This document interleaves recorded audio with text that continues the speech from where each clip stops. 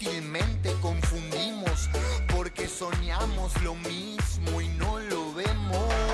Siendo un amarillo que se me reparece a vos. desde Es un placer tenerlo en el living del día en 30 Chano, a quien le doy la bienvenida. Muchas gracias, ¿eh? Hola, ¿qué Chano, tal, por Nacho? estar. ¿Cómo andás? Qué lindo tenerte, ¿eh? Bueno, muchas gracias. Un placer, la verdad. Gracias. Y un placer verte así. eh, Bueno. eh, Laburando en esto y uno empieza a repasar eh, y parece que estás haciendo una catarsis con este, con Con- este nuevo trabajo, ¿no? Sí, la verdad que, bueno, me propuse, en realidad es como un trabajo increíble poder trabajar de, de hacer trabajo conmigo mismo como es hacer un disco. Claro. El ser músico me obliga indeclinablemente a renunciar a, a hacerme el boludo, perdón, Sí, no, dale con, tranquilo. con lo que me pasa y, a tener que mirar para adentro. Me acuerdo que al final de este disco, cuando tenía que componer la última letra, era una canción que yo sabía que la misma canción, una vez que yo la empecé, me exigió y me obligó por la música que, que- que hice, que hicimos con mis compañeros, este, con los que trabajé, me exigió la propia canción este, un, un nivel de intimidad que yo no quería. Y de hecho la canción empieza diciendo, hay una hoja en blanco que no quiero enfrentar. Era la última, me decían, tenés que cantar esta canción y tenés que hacer esta letra. Y era porque estábamos trabajando en equipo y, y bueno, era la última letra que no quería hacer. Y finalmente la hice. Pero por eso, tengo un trabajo que, que me permite, a, tra- a través de- del mismo y de la ejecución de, de mi propias, de mis propias tareas, resolver ciertos dilemas que tengo en la cabeza y hacer como una suerte de, de terapia, es una terapia. ¿Y esto fue una idea que tuviste vos? ¿Te lo recomendó alguien hacer terapia a través de tu laburo? No. No, ni creo que la estoy haciendo y, y mi trabajo es tan doloroso como el... Bueno, la verdad que yo me siento un privilegiado. Claro. Un privilegiado, pero a todo nivel. El, el chabón que está en la calle laburando, este, 12 horas el laburante este, vendiendo este, algo bajo el sol o caminando kilómetros y kilómetros. Este, hay, hay millones de ejemplos que te puedo dar de gente que, que se sacrifica mucho más que yo. Entonces, a veces hasta de cierto, cier- cierta culpa, ¿no? Por tener que hacer algo que, que en realidad hace tan bien. Claro. Pero a su vez me es doloroso. Es Y igual sí. de doloroso que, que otro trabajo. Tiene sus, sus cosas, tiene su sombra. ¿no? Totalmente. Como todo. Que todo tiene. Todo lo que proyecte luz tiene, tiene sombra. ¿Y, y qué frutos estás recogiendo de este, podríamos decir, reverdecer de, tu carrera, eh, de este encontrarte con vos mismo? Mira, creo, sabes que como que estoy haciendo un trabajo, como que estoy en la etapa en donde los resultados se ven a largo plazo.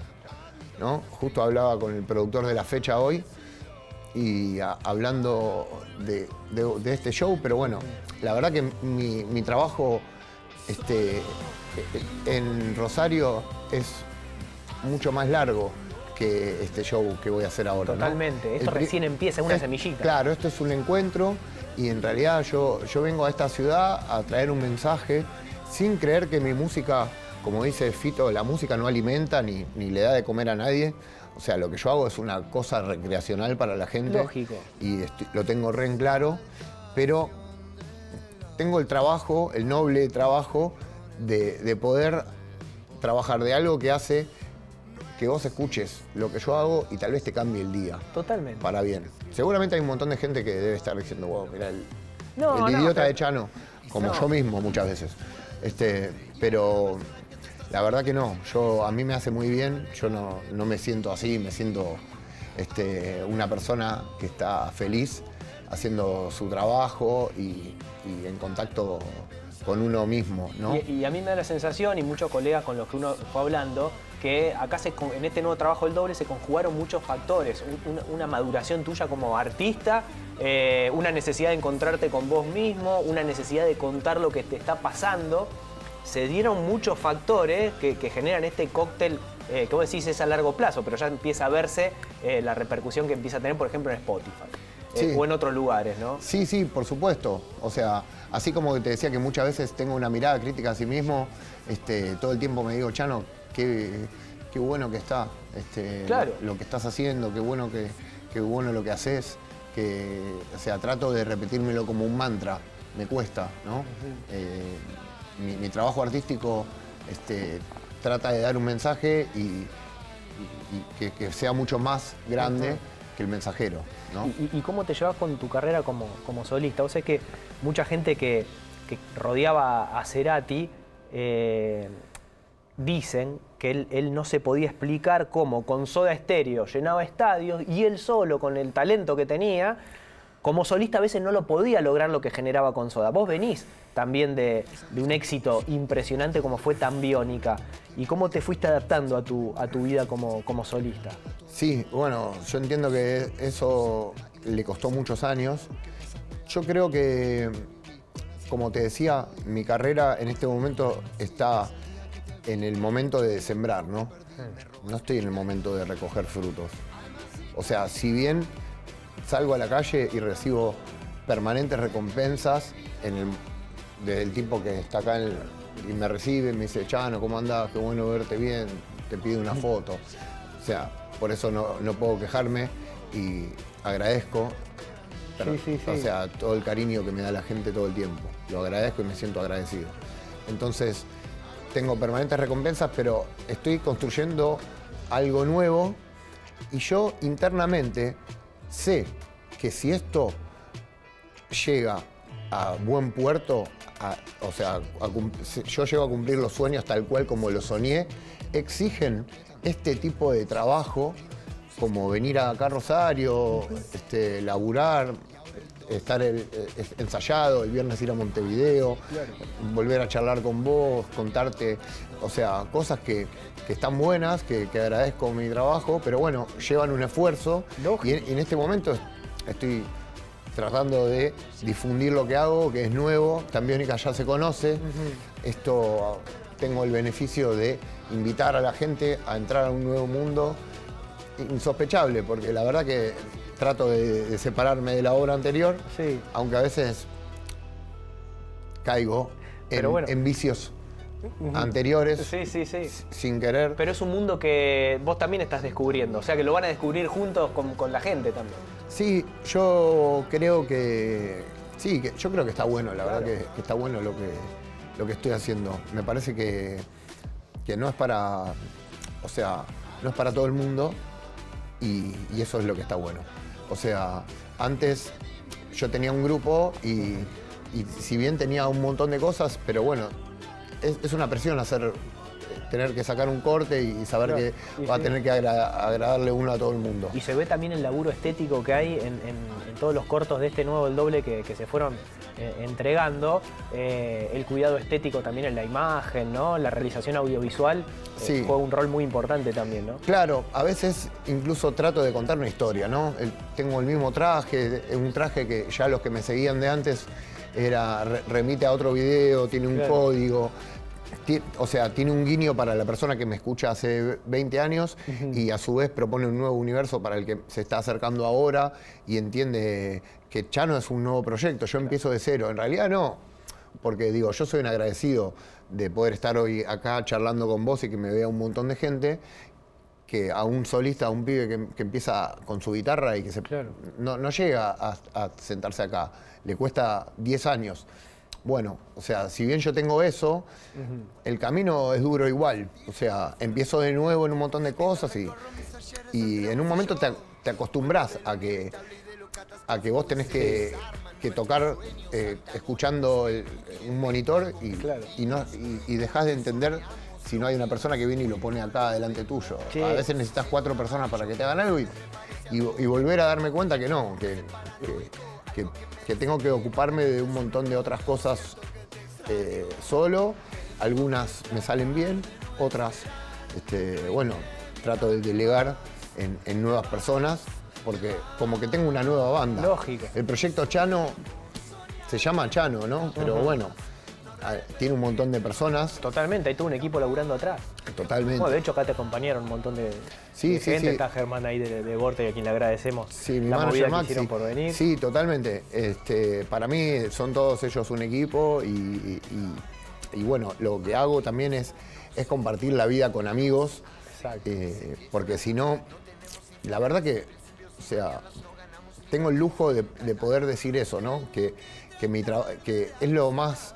También tuve que, que tener un montón de otros laburos y no es que digo, bueno, gracias a eso yo me recibí y puedo trabajar de lo que me No, gusta. lógico, no, no, va lo que me gusta muchas veces es muy sacrificado, pero ya yo ya fui camarero, todo, me llevó Claro. un tiempo poder vivir de lo que me gusta y compartir el camino con amigos, este, es, es- es muy interesante, porque uno está haciendo algo, no importa pa- para qué. Entonces, yo, yo sé que estamos haciendo algo que nos va a sorprender. Y, que- y- y- y te, quiero, te quiero hacer una pregunta, eh, antes de repasar todas las fechas, porque ya no va a estar el 30 de noviembre acá en la ciudad de Rosario, en el Vorterix, ubicado ahí en calle Salta, entre, entre Caferate y San Nicolás. Ahora vamos a contar todo, anticipadas, dónde se consiguen, y en muchos otros lugares, de hecho el viernes en Montevideo. el viernes voy a tocar en Montevideo, Sí. Voy a tocar el... Ahí tenemos una plaquita para compartir, así la gente Sí. este, va, va a ver Ah, dónde va se agregó otro teatro Vorterix para, ¿Ah, sí? para Buenos Aires. Ah, vamos a tocar en Vorterix Rosario y en Vorterix Buenos Aires. Ahí En- está, mira.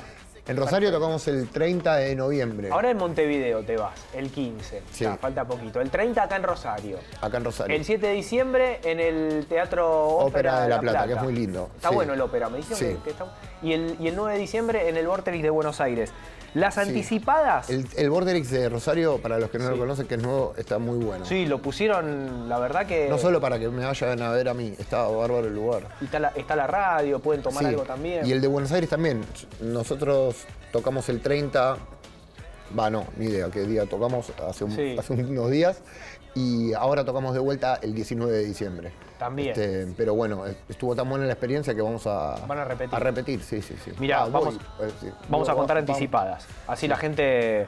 Porque claro, uno se engancha hablando con Chano de, de la Sí. historia de vida, pero obviamente también hay que saber Hay- dónde se pueden conseguir. sí. Córdoba 1369, Sam- eh, Amadeu Rocks, Rosario Rock, Palas Garden nivel 1, eh, Tucumán 1226, eh, Intervalo Shop, Mendoza 1732 y online en tickets 4 número lovers.com. Tickets 4lovers.com, ahí pueden conseguir todas las entradas. Y, y lo que te quería preguntar tiene que ver con este cambio en tu vida. ¿Sentís que con Tambiónica viviste muchas cosas por inercia en modo automático y hoy te das el lujo de disfrutar, oh, mira esta entrevista, mira esta previa hablando con mis amigos? Eh, ¿Te pasa eso? Sí, bueno, eso lo. Tengo, tengo muchos recuerdos. Es, es casi una frase hecha, decir que bueno, que un- uno se le pasó todo. No. Me acuerdo de un montón de cosas, la verdad que de un montón de otras no. Este, porque bueno, vivíamos muchas emociones que, que para un.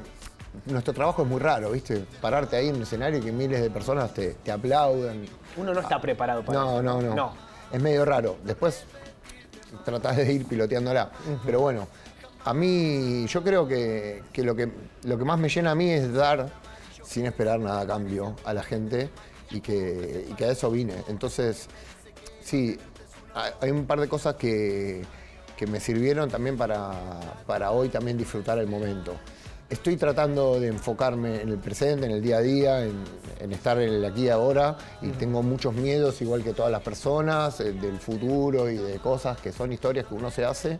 Y, pero bueno, me parece como que entregar música y, y bueno, sin esperar nada a cambio, a mí me hace bien y bueno, es, es lo que me funciona, ni siquiera es lo que, es lo que me gusta o... Lo es que sabés hacer. Es lo que tengo que hacer, sí, sí, no, no tengo mejor, no sirvo para otra cosa que, que para estar hoy acá o estar tocando en, en algún otro lugar, repartiendo un mensaje que a mucha gente le debe parecer ridículo y, y hay... No, pero por- lo que me da la sensación también es que como que sos demasiado a veces autocrítico. Eh, Sí, ¿no? Sí, me parece, Sí. claro. ¿no? Y, y- y está bueno ser autocrítico, pero, eh, a ver, hay un laburo muy importante detrás de todo esto y el mensaje para mí llega porque estás contando tu historia. Sí, no, no a es, muchos les va a servir escucharla también. no, no, no es falsa humildad, no. no. No, no, no. Es Este, como lo sentís. No, no. La humildad es como el equilibrio entre, entre lo, lo que sabes, en- en- entre lo bueno y lo malo. Entonces, ni, ni siquiera ha- hacerse este, la, la falsa humildad que a uno No, no, tampoco no. le sirve, porque es, es un acto de egocentrismo también. Totalmente. En cambio, la humildad es, es- para mí es estar aquí ahora, Y, y sentís que en algún momento... poder un- disfrutarlo. Claro. Te digo la verdad, no sé si vos me pones ahora y me, y me decís, es- este, bueno, que se abre un portal mágico y que me ofrece, bueno, seguir tocando como solista, que mi carrera empiece de atrás para adelante, como llenando estadios. Claro.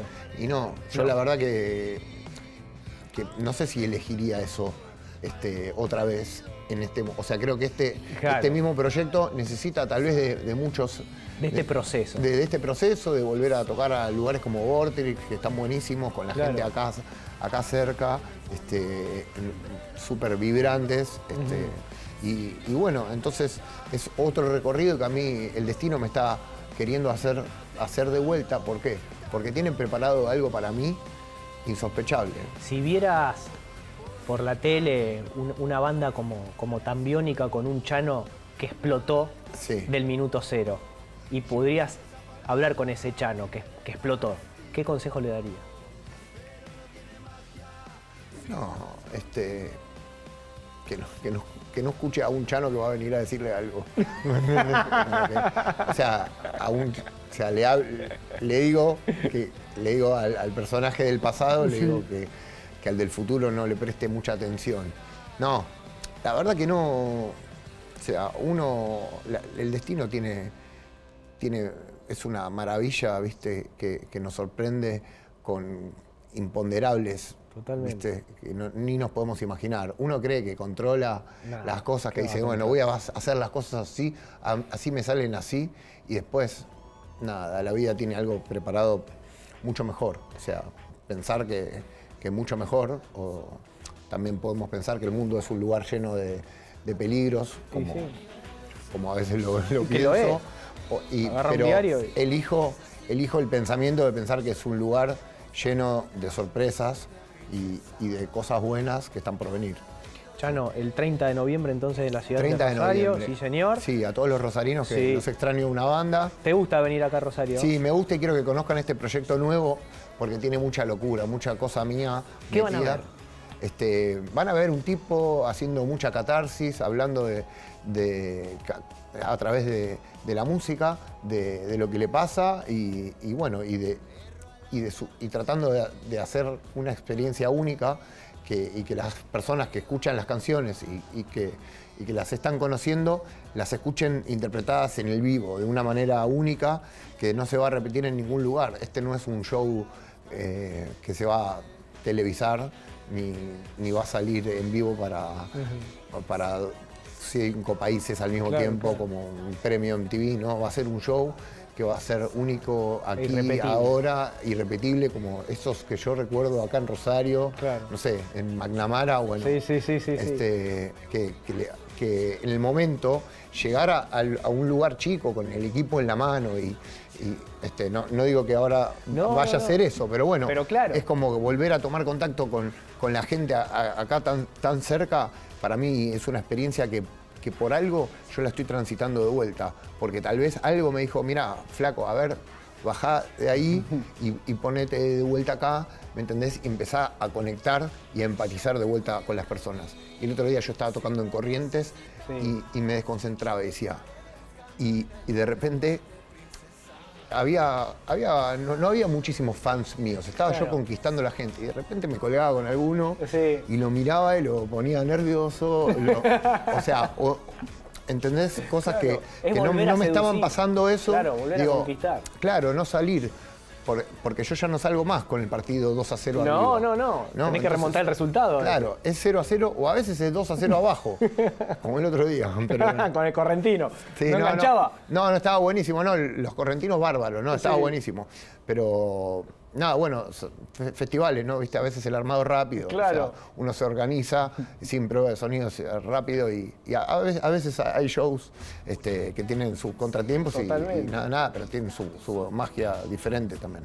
Che, qué lindo tenerte. Y, la verdad de tener esta, esta charla, eh, vos no sabés a la gente cómo le sirve escuchar este mensaje. debe servirle a alguien y debe haber alguien que está escuchando, que, que se va a dedicar a la música, que, que tal vez ese otro que no soy yo, que dice que yo no digo que no me arrepiento de nada, sino que me arrepiento de un montón de cosas. Este, tal vez cuando yo vengo y, tengo una experiencia de charlar con, un periodista, así como vos, trato de que, de que sea una charla que con hu- humildad a alguien le sirva, o para no dar los mismos pasos falsos este, y, errar en, los mismos, las mismas jugadas. Que no te queden dudas que eso Sí, sucedió. total. Muchas gracias, ¿eh? No, gracias a vos. Un placer tenerte, a todo el equipo que te acompañó también en Vorterix el 30 de noviembre, imperdible Chano en Rosario. Nos vamos, no hay más tiempo, chao. pasar a buscarte y dejar de tenerte. Yo te cuido de mí, si me necesitas, yo te estaré buscando en alguna parte, princesa.